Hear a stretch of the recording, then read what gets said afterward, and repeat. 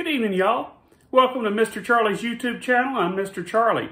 I was trying to use my remote control for my TV today, and the batteries were dead.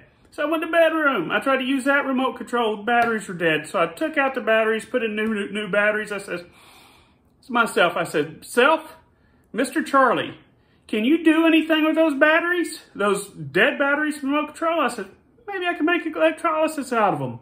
But they're double A's. How can I do that? Hmm.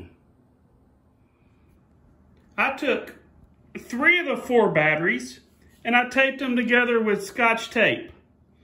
I then got two paper clips, two metal paper clips. I got one for the positive side or the negative side and one for the positive side. I straightened part of the paper clip out and left the rest of the paper clip in. I then took a rubber band. I tried to do it with tape to start with, but tape didn't hold the, the paper clips on tight enough. So I got a rubber band and I put a rubber band, where's my finger?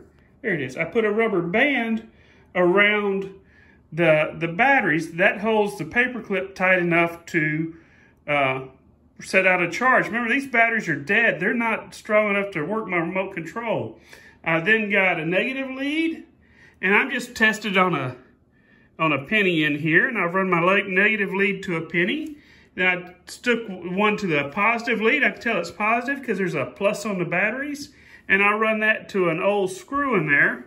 And then if you look in here, it's not, you know, winning any prizes. Focus, focus, focus. Linda, Linda, Linda, focus. Let's see if we can focus in on that.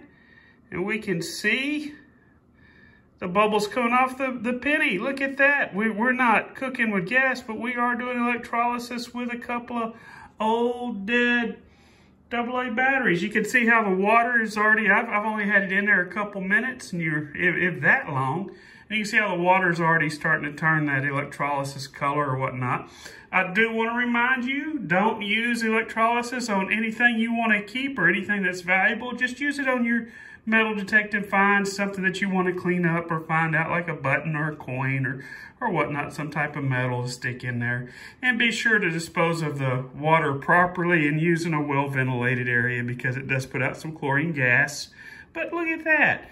I've got three almost dead AA batteries, two metal paper clips, a rubber band, two alligator clips, a bucket of water that I put salt in to make it conductive, an old screw, and the item I want to clean. And look at that, we're cooking with gas. We've got electrolysis with dead AA batteries. It's a good day. I appreciate y'all watching my videos.